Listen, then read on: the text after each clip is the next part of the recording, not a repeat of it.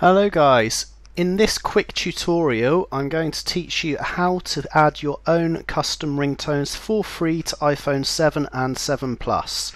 I'm sure a lot of you are in the same boat as I am. I got a new phone and I could not actually get my old ringtones that I'd paid for across onto the new phone for some reason. They just didn't exist.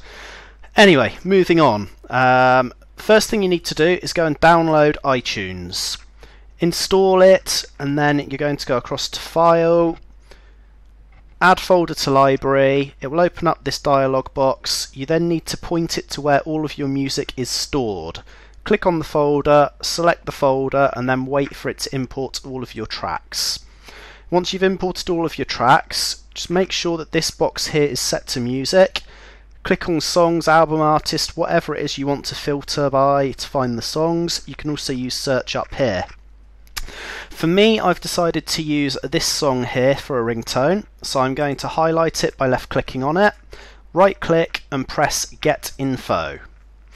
Now, an important thing to note here is the maximum length of a ringtone on an iPhone can be only 30 seconds, so we need to trim the audio slightly.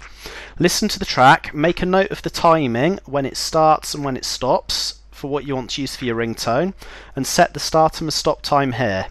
Bear in mind it can only be a maximum of 30 seconds. So just type in the start time and the end time here and press OK. Now we need to convert this into a file format the phone can actually use for a ringtone.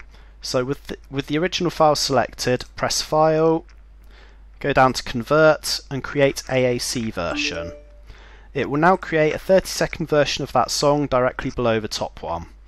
Very important at this stage to go back to the original song, right click, get info, come across to options and uncheck the start and the stop times. Or when you try and play this, it will only play between the start and the stop times. So, now what we need to do, we need to select the 30 second version of the track we're going to use as the ringtone, right click on it and show in Windows Explorer. Select the file, right click and rename. We need to rename this so that the phone understands it's a ringtone. So instead of M4A, just delete the A, replace the A with an R, so the file format is M4R. Press enter or click off the screen. Accept this. You can see the icon has now changed and it says ringtone. Okay. Now we need to add this back into iTunes. So we're just going to go File, Add File to Library. I've already got the path here for where it's stored.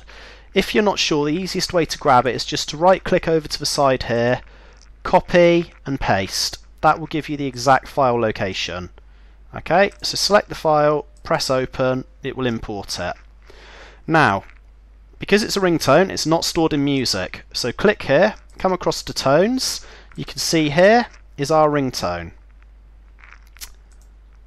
So what we now need to do is actually copy it onto our phone. Easiest way to do that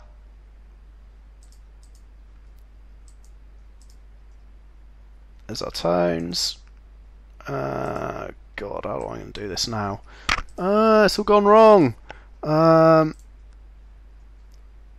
okay, I think the easiest way to do this would be to have that there tones there. Let's just show that in Windows Explorer. Let's go across to our phone. That's just going to link. That's not going to work. So in that case, what we're going to need to do is we are going to need to somehow view our tones over here.